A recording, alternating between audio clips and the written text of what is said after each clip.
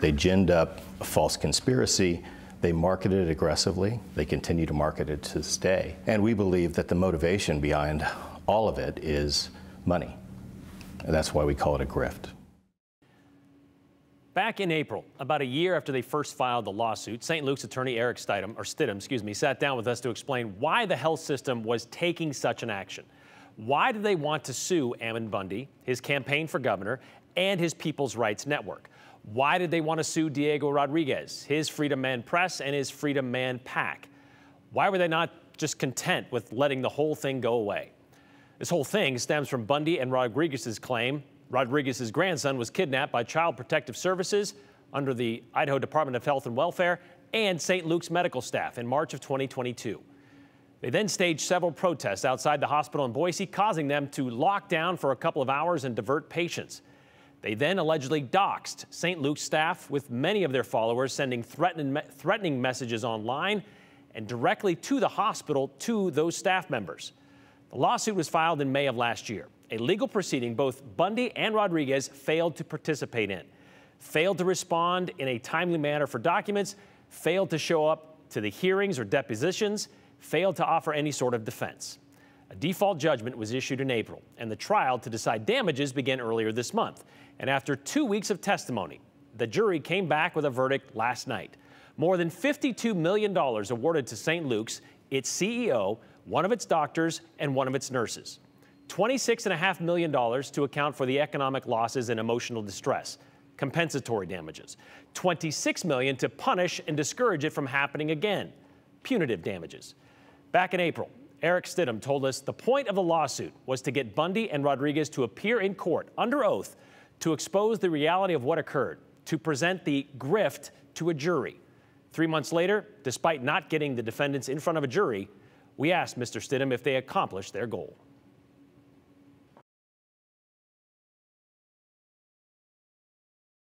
We had. We, we had that opportunity. And what was important about this trial was exactly what you said. It's not just about some isolated statements made that were false against the clients. Is as presented to the jury, it was a very calculated corporate attack that caused, you know, initially the 700 people or so, many armed, to come shut down the hospital, and then what has occurred since then, and to be honest, is still occurring today, which is this ongoing effort by Mr. Bundy and Mr. Rodriguez and associates to continue to attack St. Luke's and the plaintiffs.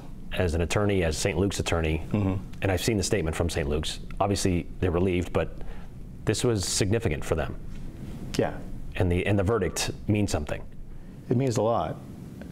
I mean, what it what it means to St. Luke's, and I think what it should mean to other people in the community, is this business model that Ammon Bundy and Diego Rodriguez pursued, which is to generate these conspiracies, um, false, create these false targets in order to generate publicity for themselves and in turn money, is just a business model that can't be accepted, especially when it results, as it did in this case, to putting so many people at risk of violence. 26.5 in compensatory, is that correct?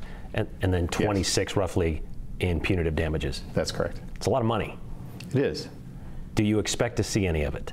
Yes, I think St. Luke's is going to pursue all legal means uh, to recover this. Mr. Rodriguez and Mr. Bundy have been open in their YouTube statements that they're trying to hide their assets but every indication is uh, are that they have very considerable assets, and uh, St. Luke's, I'm sure, will take all steps to get it collected. So, how does Mr. Rodriguez feel about this outcome?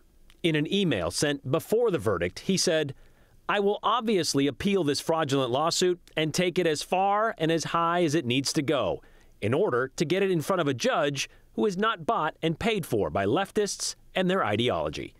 As for Mr. Bundy, a little less verbose.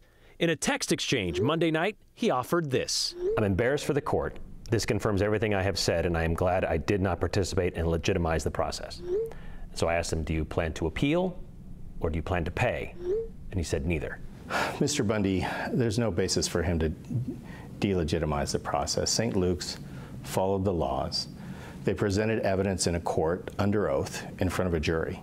Um, I think the fact that St. Luke's pursued that route is an affirmation of our system and that it works. The fact that the system continues to work, even when somebody like Mr. Bundy tries to opt out of the process, is a testament to the strength of the system. Okay, so then logistically, how does it work? How does somebody get that kind of money from somebody who claims to have no assets? It's, um, it's a typical process to go through collection. There'll be efforts to discover um, what assets Mr. Bundy really has. So the law has mechanisms to address these situations, and I fully expect St. Luke's to be committed to pursuing all legal means at recovery. I'm hopeful that he would um, just accept the situation and pay up um, as required, but if he doesn't, there's a variety of mechanisms. There are there are liens, there's fraudulent conveyance lawsuits, there's just efforts to uncover any concealed assets. And you know, our understanding is Mr. Bundy, whether he contends he has them or not, controls some very significant assets. So this by no means means this is over, and there are still civil arrest warrants out for both Bundy and Rodriguez in Ada County. Bundy's was issued back in April.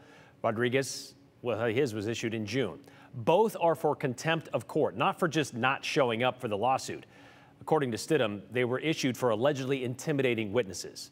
Bundy's warrant is still up to the Gem County Sheriff Donnie Wunder to serve, and one would assume should Rodriguez show up in Ada County at any time from his home in Florida, well, then he would then be served.